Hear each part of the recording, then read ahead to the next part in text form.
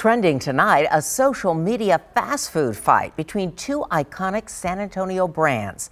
Bill Miller Barbecue seems to be taking a shot at Whataburger. The Bill Miller Facebook account posted this open letter to customers on Facebook tonight.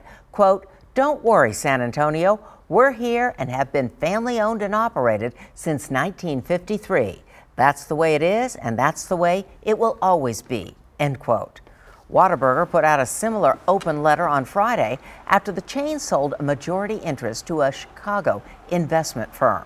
Whataburger's headquarters will remain in San Antonio, and all of its recipes are expected to stay the same.